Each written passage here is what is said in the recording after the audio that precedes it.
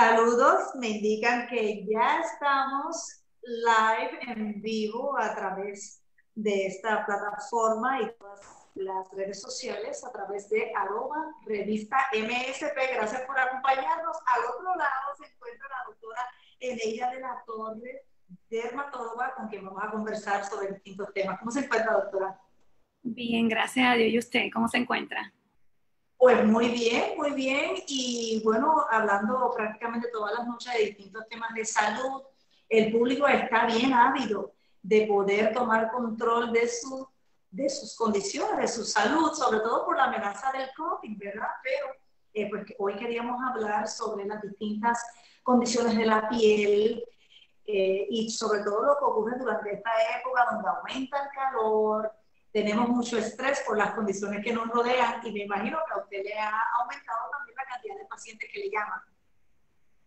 Correcto, correcto. Gracias a Dios hemos podido seguir dando servicio a través de toda esta emergencia, por telemedicina, ya estamos viendo pacientes presenciales, así que estamos haciendo, eh, tratando de darle el mejor servicio que podamos dentro de la situación. ¿Y cuáles son las principales condiciones de la piel que está afectando a la población ahora? ¿Ha visto alguna diferencia? Pues más que todo lo que hemos visto un aumento en lo que es la dermatitis atópicas o dermatitis de contacto. Y esto lo vemos eh, más presente, más predominantemente en las manos, por lo que se llama la eczema de manos, ¿verdad?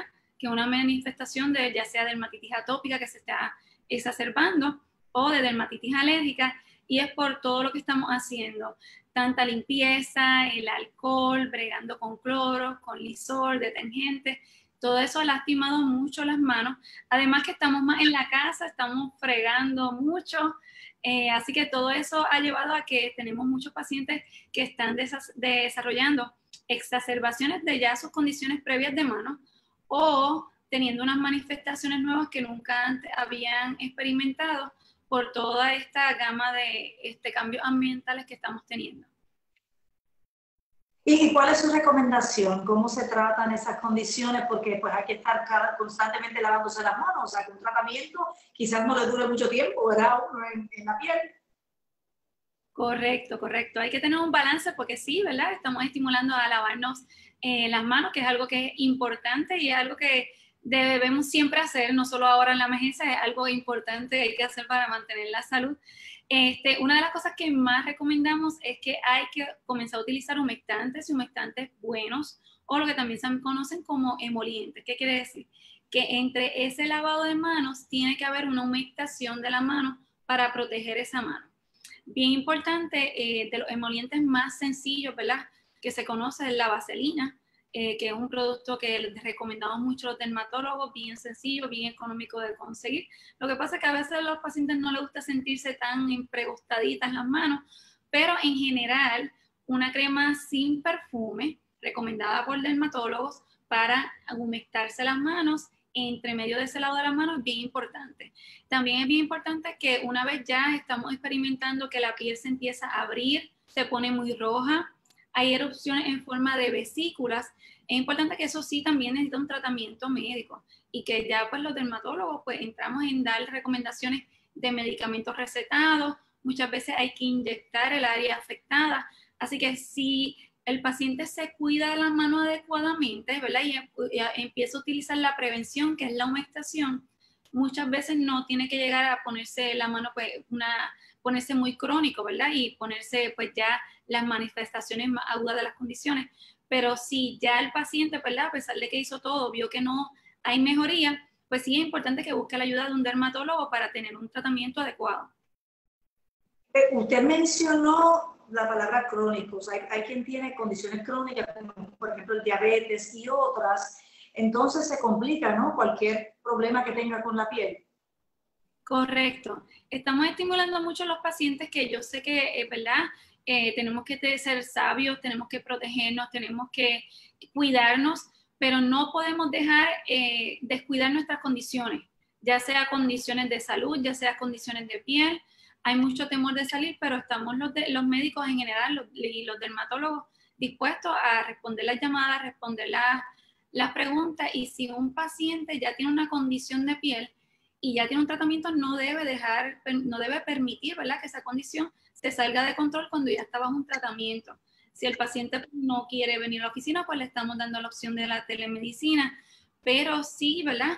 Es bien importante que no nos pase lo que muchas veces nos pasó con María, que los pacientes nos aparecían dos años después, ay, es que no vengo desde María, y volvían con estas condiciones, ¿verdad? Ya fuera de control. Así que estamos eh, estimulando mucho a los pacientes que se sigan cuidando y que busquen la ayuda médica a tiempo, no dejen que esto le haga esconderse tanto que pues sus condiciones se exacerben y después cuando van al médico ya tienen que ir a una sala de emergencia o ya están muy graves.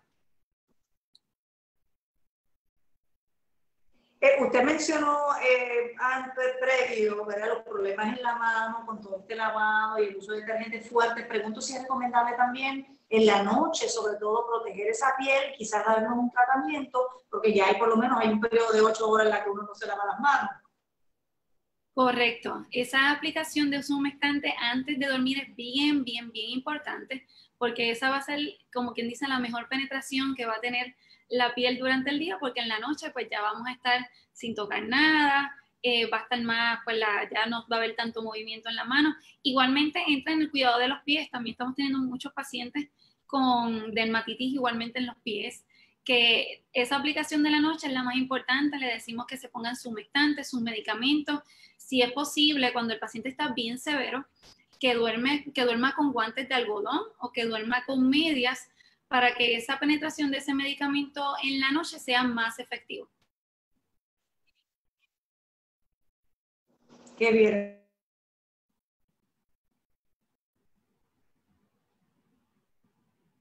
Interrumpió momentáneamente nuestra conversación. Hay problemas con el internet porque hasta ahora parece que hay mucha gente conectada. Eh, quería preguntarle sobre lesiones en la piel y la posibilidad de contraer el COVID, que es lo que nos tiene a todos muy preocupados, ¿verdad? ¿Hay alguna eh, posibilidad real de que el COVID por alguna lesión de la piel pueda afectarnos? Pues la realidad es que se están describiendo, ¿verdad? Como todo, y nos gusta siempre a los médicos, eh, ¿verdad? Enfatizar, todavía estamos aprendiendo mucho del COVID. Esto es algo reciente, todavía hay mucho que aprender. Lo que sí sabemos es que ya hay unas manifestaciones de piel que son más específicas, ¿verdad? Y se han podido ya este, relacionar más al COVID, ¿ok? Y cada vez ya están saliendo más estudios. Recientemente hubo un estudio de, de España que salió, donde hacen una asociación más real, ¿verdad? De ciertas manifestaciones de la piel y el COVID. De que haya una manifestación de piel que sea eh, específicamente contagiosa, al momento eso no está aprobado, sí estamos viendo que hay unas manifestaciones bien específicas que sí es importante que los pacientes conozcan.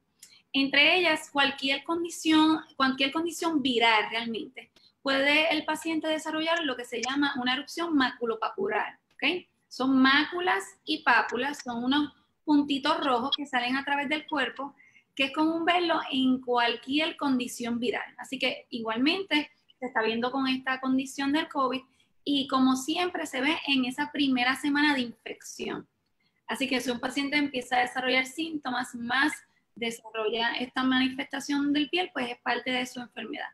Lo otro que también se está viendo es lo, las reacciones de urticaria o la reacción urticarial, que son ronchas que comúnmente la gente pues tal vez la asocia más a comidas, pero también está reportada a que medicamentos y virus pueden causar estas manifestaciones en la piel y se están viendo.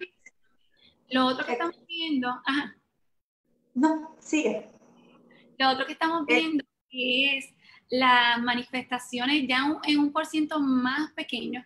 Estamos viendo una manifestación de una erupción estilo vesículas, como se vería en varicela que eso ya es más raro ver porque como ya no vemos tanto la varicela porque ya se vacunan a los niños y no vemos una manifestación que estamos ya tan acostumbrados a ver, es algo que sí se ha reportado y se ha visto como alerta para saber reconocerlo adecuadamente de que sí es una manifestación, que si vemos un paciente, ¿verdad? Pues estamos teniendo estos pacientes que no tienen eh, todas estas síntomas, ¿verdad? Como para ir a un hospital y tener esta dificultad respiratoria, pero si empiezan a presentar estas manifestaciones en piel, pues sí nos llama la atención de que tenemos que evaluarlo para el COVID, ¿está bien? Lo otro que estamos viendo ya de manera un poquito más, eh, un por ciento menor, es lo que se llaman unas isquemias vasculares. Y esto es interesante porque es una condición que usualmente vemos en condiciones reumatológicas, como en pacientes de lupus, y se está observando en pacientes de COVID. Y la otra manifestación que es también más rara, pero se está asociando a una enfermedad más grave, es lo que se llama el livedo reticularis, que estos pacientes que hacen estos parchos como irregulares a través de los vasos sanguíneos, que ya es una manifestación de que hay un problema vascular. Y entonces estas manifestaciones sí se están viendo en pacientes que están más en una enfermedad más grave. No quiere decir que todo el que le da va a estar bien malo, porque también se ha visto en pacientes jóvenes, pero sí se está asociando a que va con una enfermedad más grave. Este, doctor, ¿y usted ha detectado algún paciente que llegue con alguna de estas afecciones cutáneas que haya salido positiva de COVID? Lo hemos visto, pero más como consultas de sala de emergencia, de que estén llegando a la oficina, no. los pacientes van a sala de emergencia, ya se está haciendo el workup, tienen la manifestación y pues nos llaman para eh, confirmar, ¿verdad? Si esa manifestación es parte del COVID. Pues yo no había señalado que podían hacer preguntas, pero ya tenemos varias, doctora, así que yo me voy a desviar un poquito del COVID ahora para hacer algunas preguntas que nos están llegando. Ana Morel pregunta, ¿qué recomienda si luego de un tiempo el uso del antibacterial de manos también te causa alergia? Correcto, sí, es algo que también estamos viendo. Tenemos que buscar en ese caso eh, todo lo que es, ¿verdad? Cuando hablamos de irritantes, estamos hablando de lo que es cloro, glisol, detergente y los antibacteriales incluyen en esos irritantes en la piel. Así que recomendamos que si el paciente ya está eh, desarrollando una erupción a uno en específico, pues deben tal vez, muchas veces lo que decimos es cambiar la marca y tratar de utilizarlo lo menos posible tratar de usar más el agua y el jabón, y de ahí agua y jabón, pues humectar las manos, luego de lavarse las manos, humectar las manos para así proteger, eh, proteger la piel. Eh, doctora, aquí hay un Alberto Echegaray que pregunta que tenía una cita una, en agenda, un trasplante de cabello, que yo sé que todas, esos, eh, todas esas incisiones que eran eh, que no eran obligatorias, pues se suspendieron. Pero ya la clase médica está otra vez asumiendo, ¿verdad? Eso o todavía lo que es que tú lo puedes seleccionar. Se me escapa la palabra. De las cirugías. Electivas. Electivas, igual los tratamientos, ¿verdad? Como serían los tratamientos cosméticos. Correcto todo lo que es eh, tratamiento cosmético y cirugía electiva, este, pues se aguantaron por un momento, pero sí, ya estamos retomando esos tratamientos. Eh, ya hace unas dos semanas ya estamos retomando todo lo que son tratamientos, ¿verdad? Con, volvemos eh, siendo bien responsables, con mucho cuidado. Eh, estamos haciendo, pues, ¿verdad? Estamos tratando de mantener lo que es la cita en su horario para que no haya conglomeración de pacientes, se espere lo menos posible. Así que se está haciendo y estamos retomando todo poco a poco. Pero sí, si tenía esa cita, puede llamar y lo atendemos con gusto. Y hay varias preguntas sobre los procedimientos cosméticos, doctora. Hay María Isabel Fernández pregunta si ya se están también renovando las citas para el Botox y otros procedimientos cosméticos. La respuesta es lo que son procedimientos cosméticos por los médicos, sí, ya los estamos retomando. Lo que estamos un poquito más, eh, haciendo un poquito más cautelosos son con los procedimientos estilo los faciales, otros tratamientos que requieren que el paciente esté más tiempo acostado, que requiera ¿verdad? más tratamiento eh, de estirpación, ese tipo de tratamiento, pues está aguantando un poquito, estamos retomándolos poco a poco.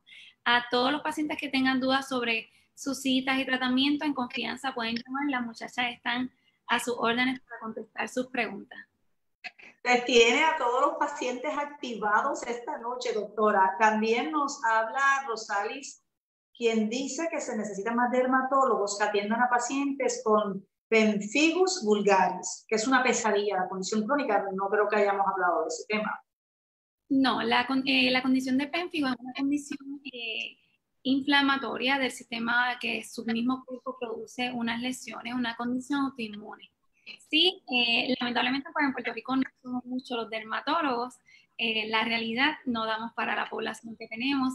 Eh, muchos sí tratamos la condición y cuando los pacientes pues ya tienen una condición más progresiva, pues son bien pocos los dermatólogos que, tratan la condición, pero aquí nosotros también este, la tratamos. Pero sí, estoy de acuerdo con la paciente que hace falta más dermatólogos en Puerto Rico, en eso estamos de acuerdo. Doctora, hay dos preguntas relacionadas con lo que usted mencionó de las varicelas. Eh, no sé si fue en relación a lo del COVID y la manifestación, si quisiera aclararlo. Hay dos preguntas sobre preocupación. Pues sí, lo que mencionamos es que una de las manifestaciones que se está eh, reportando con el COVID es una erupción vesicular parecida, le llaman lo que se llama eh, eh, chickenpox like, chickenpox es varicela en inglés, es parecida, no es varicela parecida, porque a diferencia de la varicela, la varicela tiene lesiones polimórficas, que son lesiones en diferentes estadios eh, y diferentes, mientras esta erupción es más lo que se llama monomórfica, que salen muchas vesiculitas a la vez. Y por ende, pues esas vesiculitas sí pasan el proceso de llaguitas y se forman llagas y se forman, este, pueden dejar un poquito de cicatriz, pero no es varicela, es lo que se describe como varicela, porque la condición de varicela es lo más parecido que se ha podido describir.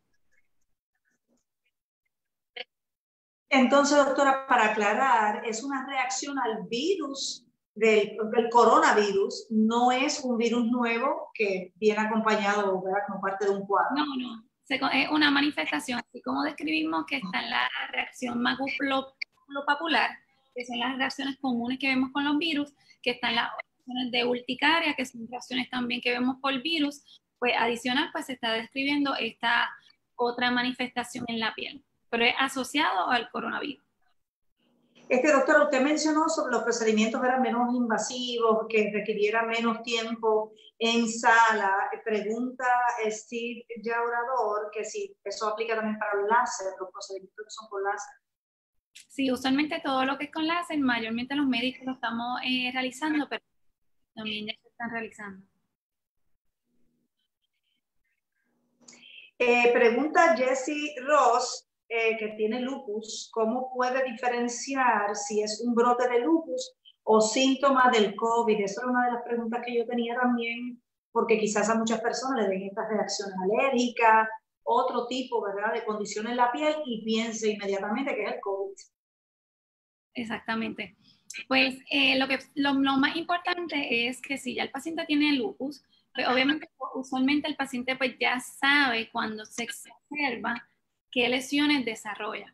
El lupus es una condición que se exacerba mucho con el sol. Los pacientes de lupus tienen que cuidarse mucho del sol. Y es algo que también tenemos en alerta ahora mismo porque estamos experimentando mucho sol y mucho calor y eh, los pacientes están en las casas y lamentablemente viendo pacientes con lupus que saben que se tienen que cuidar, pero salieron al patio y se metieron en la piscinita y todo y pues están teniendo esas observaciones de su condición. Así que es bien importante que un paciente de lupus se mantenga su cuidado y que siempre tenga su protector solar, se cuide bien de eso, pues sabe que eso es una de las cosas, eso es una de las cosas que se observa su condición. Lo otro bien importante es que siempre que, ¿verdad? que es, es, una manifestación del virus y estas manifestaciones que estamos viendo, usualmente y grandemente en pacientes que tienen síntomas. Así que no vamos a quitarle perspectiva que tenemos los síntomas del virus, que son los mismos que se han reportado siempre. La tos, la dificultad respiratoria, la fiebre. Si un paciente de lupus que de momento empieza a desarrollar tos, fiebre, dificultades respiratoria o nada más que desarrolla fiebre y tos, es un paciente que se debe hacer la prueba, porque son pacientes que usualmente usan medicamentos que son inmunosupresores y están más a riesgo. Así que son pacientes que tienen que cuidarse. Igualmente, un dermatólogo el que realmente lo, cuando lo examine le va a poder diferenciar si son de lupus o son lesiones de, de COVID es bien importante siempre consultar con su médico. Este doctor le quería preguntar, ¿verdad? Hay muchos eh, cuentos de camino y también hay mucha medicina familiar natural, por decirlo así. Eh, sobre todo en términos de, ¿verdad? De, problemas en la piel, que se puede notar esto o aquello. En ese sentido, ¿hay algo que debemos evitar eh, que sea casero, que realmente nos puede provocar más problemas o irritarnos más? Yo creo que uno de los errores que más eh, los pacientes es que cualquier condición en la piel le tienden a echar alcohol y, yo, y al alcohol, aunque es muy bueno para desinfectar, es un irritante bien potente. tenemos muchos pacientes, pacientes, especialmente pacientes mayores, que les sale cualquier cosa en la piel y el alcohol tiene la habilidad de crear esta, como este frío instantáneo. Y inicialmente el paciente piensa que eso va a mejorar. Y tenemos pacientes que están desarrollando una erupción en la piel, ya sea por alergia, y entienden que la mejor es alcohol, se echan alcohol y lo que hacen es empeorar. Así que una de las cosas que más comúnmente yo escucho en la oficina que se echaron alcohol, se echaron el PIX, muchas veces el paciente se lo irritante, con el que yo, eh, los pacientes me preguntan y no tengo muchos problemas con la sábila, ¿verdad? Sabiendo que la cáscara de la sábila hay que tener mucho cuidado, la cáscara puede ser alergénica, que si es el liquidito para aliviar cuando son quemaduras, cuando son eh, eh, que la piel está bien irritada, pues eso sí le podría ayudar. Igualmente que lavar siempre el área con jabones suaves. Eh, tenemos, el paciente entiende que usan muchos fuertes, jabón antibacterial y cuando ya la piel está irritada lastimada, un jabón fuerte y antibacterial lo que va a hacer es irritar la mano. Así que procuramos que el paciente use jabones suaves y agua para lavar. Lo otro que también vemos mucho con alergia es que tienden a usar mucho los baby wipes para limpiarse y eso también los wipes tienden a tener unos unos componentes, que muchos pacientes pueden ser alérgicos.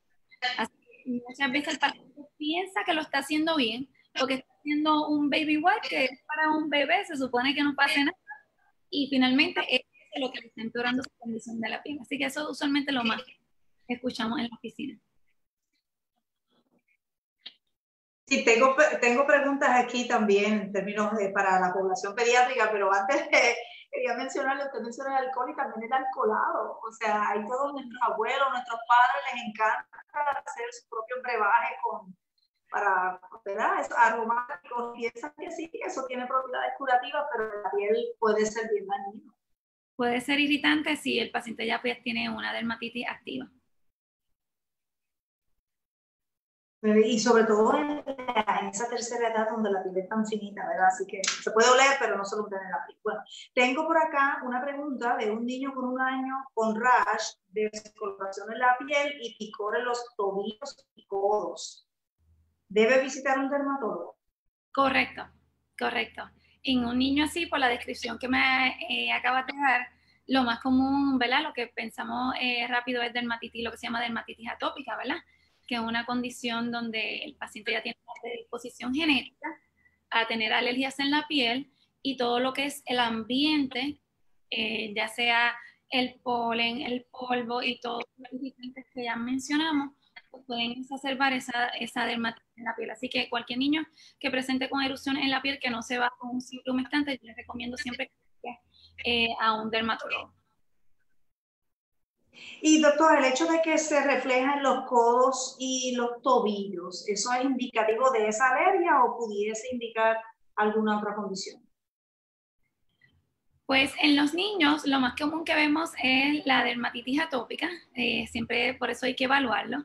En momentos, en, ocasiones mucho más raros, en un niño se puede eh, diagnosticar la psoriasis, que no, no es una posibilidad que siempre tenemos, solo que la dermatitis atópica es mucho más común, pero sí, aunque es raro, la psoriasis también se puede ver en niños. Lo otro que hay que estar pendiente también es que estamos viendo mucho en estos días los, eh, las erupciones o rash, ¿verdad? Como le llama la gente, por el calor.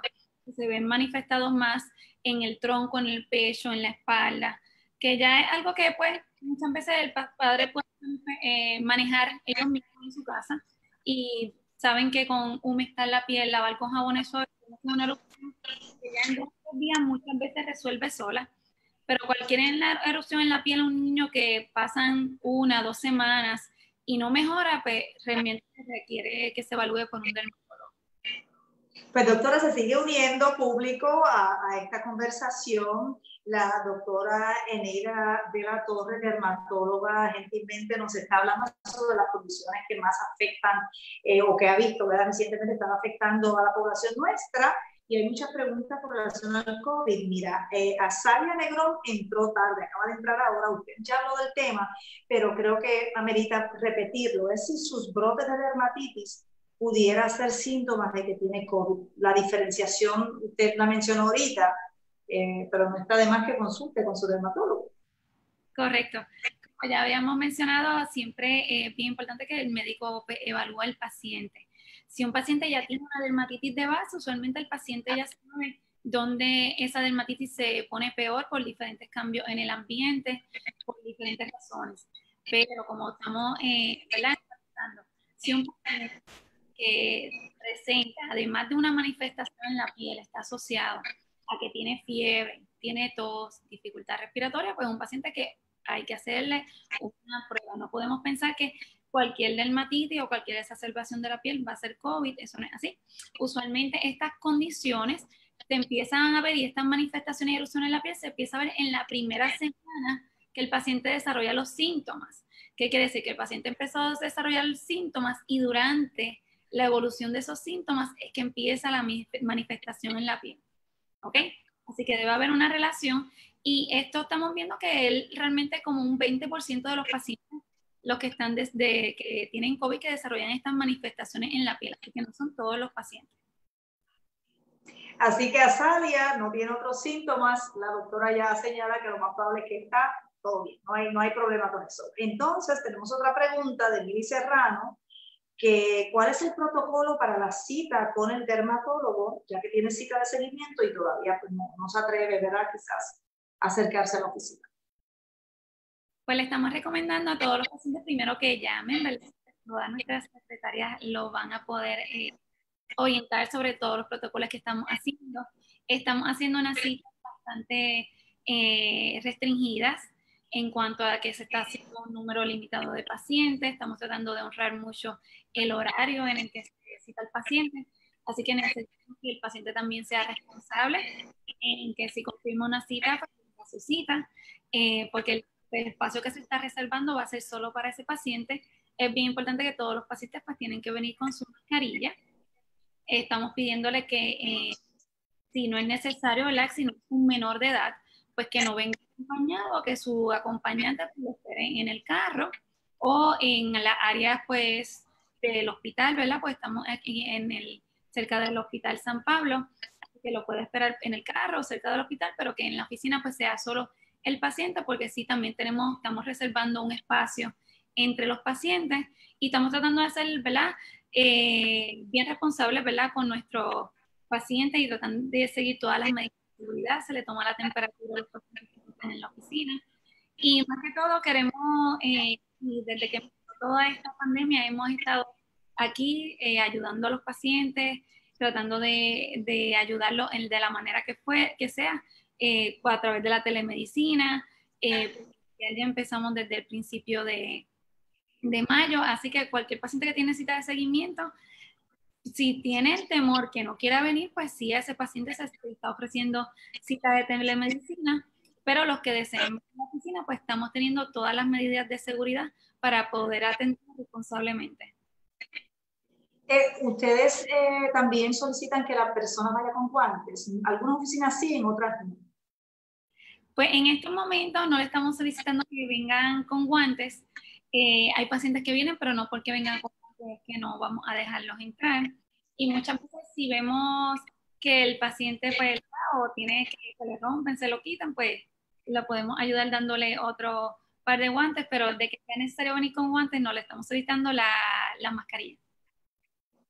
Este, claro, así que nuevamente, doctora, estar pendiente ahora que viene el verano también y todo el calor y estamos quizás más tiempo dentro, con menos ejercicio, nuestra dieta también ha cambiado un poco, a que nuestra piel se puede resentir y pues debemos consultar con nuestro dermatólogo por esos cambios que podemos sufrir de la piel.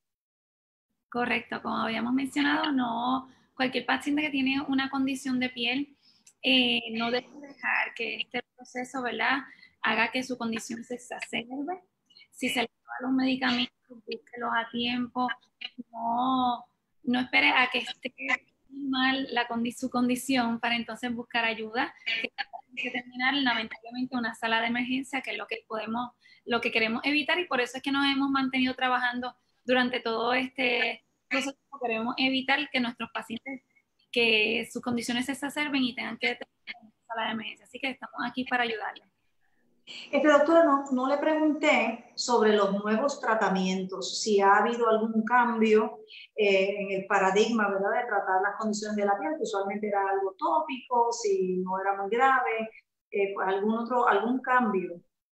Los únicos cambios que hemos tenido hasta ahora es que todo lo que son medicamentos eh, biológicos, que usualmente son medicamentos que se usan para condiciones como la psoriasis, eh, si el paciente ya estaba en su tratamiento, el paciente pues continúa en ese tratamiento. Si el paciente presenta algún síntoma de COVID, pues la recomendación es que pare su tratamiento. Pero igualmente cualquier paciente que estaba en estos tipos de medicamentos de biológicos, siempre se le había informado que si ese paciente se enfermaba, tenía que parar su medicamento, porque estos medicamentos, especialmente los, los primeros que salieron, pues sí, eh, tienen un efecto en disminuir y poner al paciente, ¿verdad? A, contraer infecciones. Así que eso es lo más que estamos en cuanto al tratamiento de la psoriasis, estamos bien pendientes. Estamos tratando de que no es necesario en estos momentos no comenzar ningún paciente en medicamentos que le vayan a disminuir su sistema inmunológico. Los pacientes que ya están en sus tratamientos los continúan y los observamos pero si un paciente no es necesario en este momento con, eh, comenzar un medicamento que disminuya su sistema inmunológico, pues no lo estamos, eh, estamos, ¿verdad? Tratando de aguantar un poco el comenzar ese tratamiento hasta que pues sepamos más y pase este, este momento agudo que estamos en cuanto a la pandemia. Eh, doctora, tengo a Arnold Gómez que pregunta que le están saliendo pequeños lunares rojos en el pecho y el cuello, si está asociado con el aumento del ácido úrico.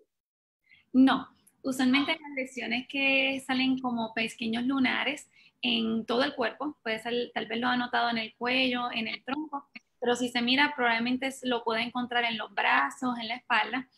La lesión, una lesión común eh, que se llama hemangioma, o en inglés le decimos shaving angioma. Es una lesión bien común en la piel, es de las condiciones más comunes que existen. Está asociado más que todo a genética y edad. No está asociado a problemas del hígado, no está asociado a problemas de riñón.